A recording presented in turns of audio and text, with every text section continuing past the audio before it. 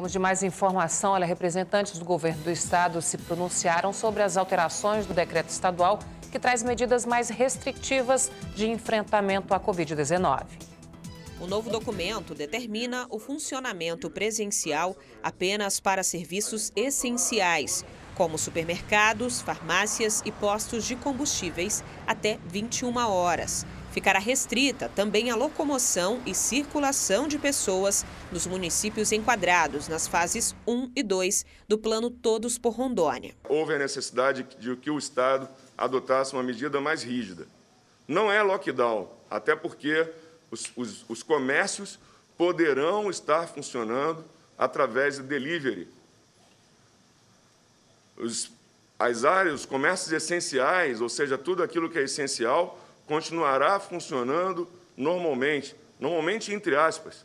Nós limitamos um, um número de um percentual de 30% da capacidade daquele local para poder ter pessoas dentro Fernando Máximo, secretário de Estado da Saúde, destacou o aumento no número de casos novos da Covid-19 no estado e alertou a população quanto à gravidade do problema. Faço o que for necessário para salvar o máximo possível de vidas, mas quando eu vejo 1.675 casos novos em 24 horas, não tem como não se indignar.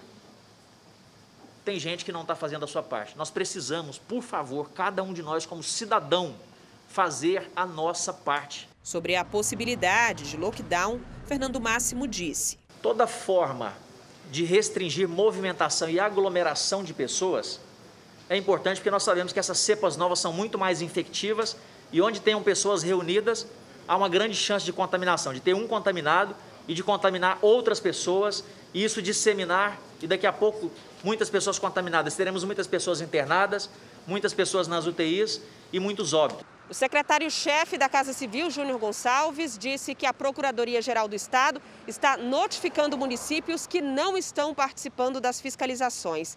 Ele disse ainda que os municípios possuem algumas responsabilidades, entre elas, estabelecer normas para aplicação de multa para o não uso da máscara de proteção e ainda o fechamento de espaços públicos. O representante do grupo Pensar Rondônia, Chico Holanda, disse que há pontos no decreto que o grupo discorda, como o funcionamento de supermercados aos finais de semana. Infelizmente, temos visto alguns supermercados não cumprirem com a sua obrigação, com seu dever de cidadão, de empresários, deixando que fiquem superlotados as suas dependências. Então, nós sugerimos ao governo do Estado o fechamento aos finais de semana completo, já que boa parte dos empresários vem sofrendo pelo um caos. Olha, é, o, o, secretário Fernando Máximo avalizou, acabou de avalizar aqui tudo que eu estou dizendo aqui e que eu falei no rádio hoje.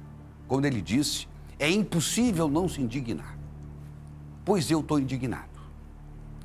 Especialmente porque, vou repetir o que eu venho dizendo há tempos e o que eu já disse hoje.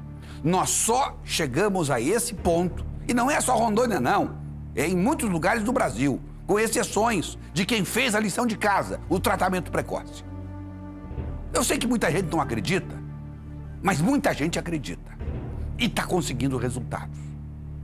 Hoje eu vi o depoimento de uma médica de Ariquemes que, inclusive, já mudou o protocolo dela, se adequando às novas cepas do vírus. E já está conseguindo os resultados que ela precisava conseguir.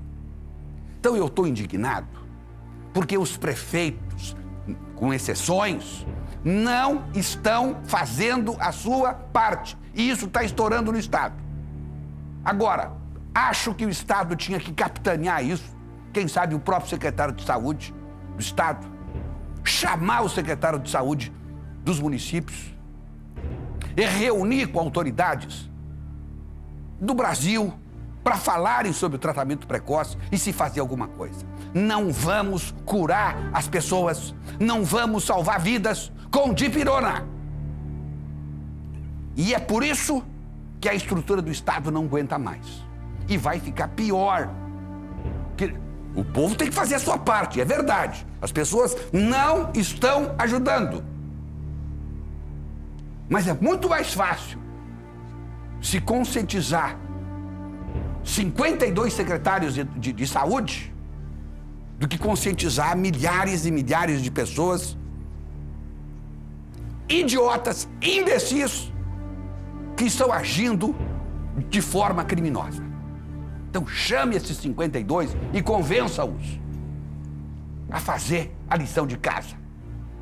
Até porque isso é constitucionalmente uma obrigação dos municípios e não estão fazendo a sua parte. As pessoas estão morrendo sem necessidade, muitas delas.